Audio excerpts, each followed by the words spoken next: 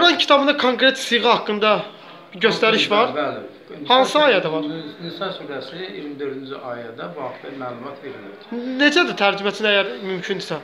Mən indi bu sadə dəqiqliyinə deyə bilmirəm. Allah icazə verir ki, yəni müvəqqəti izdivac olunması, bu sahib, sahib durma məsələsi. Müvəqqəti məsələn ən azı minimum nə qədər e, münasibətdə olmaq olar siğə vasitəsilə? Yəni halaldır. Ə, Bir günlük var. Bilirsiniz? E, Əvvəla e, siğə məsələsində e, burada yanlışlıqlar çox ortalığa qoyulur. Qardaş qardaşlıq siğəsi də ola bilər, qardaş bacı siğəsi də ola bilər.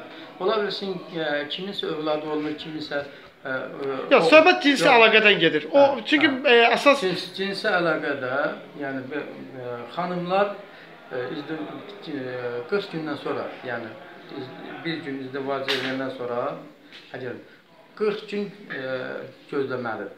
Yəni bax 40 gündən sonra növbəti insandan siğə eləyə bilər. Əgər, əgər 40 gün, 41-ci gün artıq e, eləyə bilər. Yəni o da ondan ötürüdür ki, Sizcə bu e, fahişəliyə bir dəstək kimi bunu qiymətləndirmirsiniz? Xeyr, burada söhbət ondan gedir ki, ə, ə, sahib, ə, sahibsiz sahib ə, durmaq məsələsi var.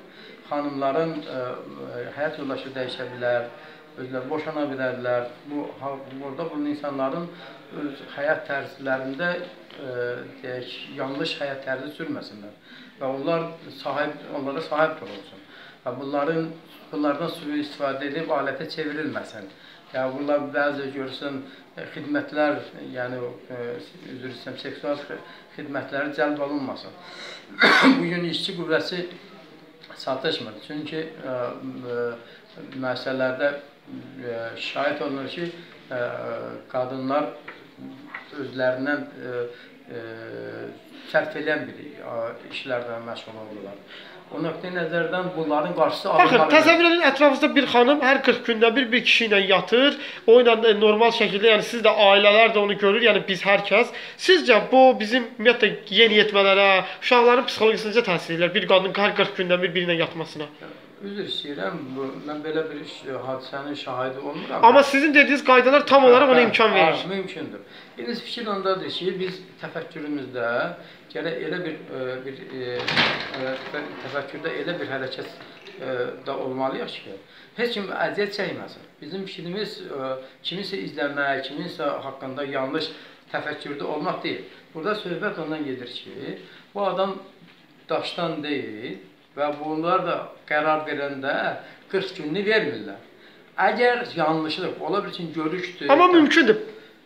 Müm mümkünlüyü indi bu məsələsi e, e, olanda biz onu belə bilməliyik ki, bu adamın taleyi, hər yaşam tərzi bu cürdür. E, müəllim, sizin dediyiniz e, məsələnin xırda, yəni e, digər tərəflərdə, amma sizin dediyinizdən belə çıxır ki, bir qadının hər 40 gündən bir biri ilə yatması tam olaraq normaldır, yəni bizim cəmiyyət üçün.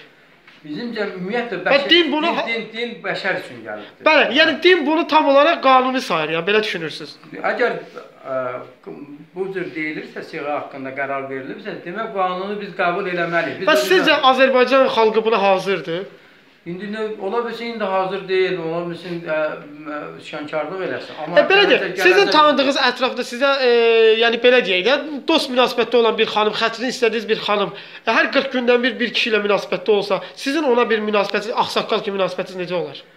Bilirsiniz, ə, siz ə, yenə elə sözlər ortalığa çıxardırız ki, bu problem deyil bu insanlar üçün. Əslində Amma gizlində insanlar aşkarına görürsən başqa bir e, yəni bir işlər görürlər. Amma burada e, söhbət ondan gedir ki, qan e, o Quran ayəsi oxunmalı, hansı dualar oxunmalısa da bu adamların ikisinin də məsuliyyəti daşımasıdır. Bu adam 40 gün 40 gün təsisatını eləməli, eləməlidir. Yəni onun e, həyat yaşam tərzini ə, ödəməlidir. Əgər bu 40 gündə onlar sövdələşib yenə də uzada bilərlər. Yəni bu yeni bir ailənin qurulacağına ə, davam verilə bilər. Biz pis tərəfini götürmürük. Müəllim belə də, e, ba- başa düşdü din əgər belə deyirsə və sizin də müəyyən həyat təcrübəniz var. Sizcə bu cür münasibətlər gizli olsa cəmiyyətə az e, ziyanı olar, yoxsa aşkar olsa? Çünki gizli olsa, məsələn, bir qadın 40 gündən bir biri ilə gedib yaxınlıq eləsə və gizli olsa bu bizə heç bir ziyan verməz. Amma bu e, Quranın e, ortaya atılıb, qanunları ortaya atıb rəsmiləşdirilib etdirilsə, hər kəs bunu bilsə, bu daha çox ziyan vurar, elə deyil?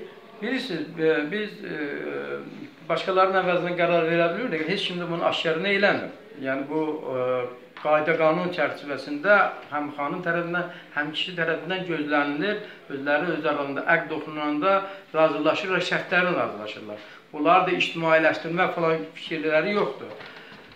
Sadəcə biz cəmiyyətdə bu adamların ölümünə, ya onların ifşa olunmasına fətvə verə bilmərik. Bunlar insandır. Yaşaya bilərlərmi? Ola bilsin birinin yoldaşı xəstədir, yəni kişinin yoldaşı xəstədir. Ola bilsin ə, evdə şərait yoxdur məsələn. Bu insan ə, məsələn bu insan kimi həyat yaşay yaşamalıdır. Və bu insanlarda gələcək ə, məsələn çox vaxtı görürsən bu qocalanda çox adamlar qocalar evində keçirdir, xəstəlik tapır, yə duran olmur. Bu siğələrin bir növ onların bir-birindən ə, yəni yaxın yaxınlaşması həm qulaq yoldaş olmasıdır, həm də onların ə, həyat tərzində ə, bir ə, deyək ki, olan münasibətlərin bərpasıdır. Yəni